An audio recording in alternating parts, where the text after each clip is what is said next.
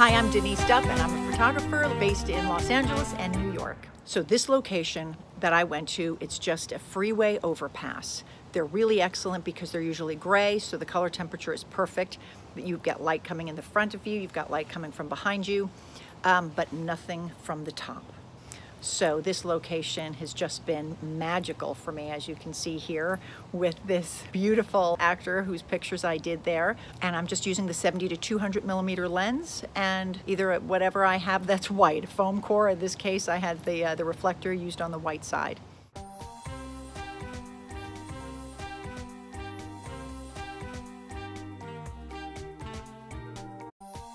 Thank you for watching this. Be sure to like, to subscribe, and make any comments below if you've got any other questions. And remember to go out and capture your own images of life.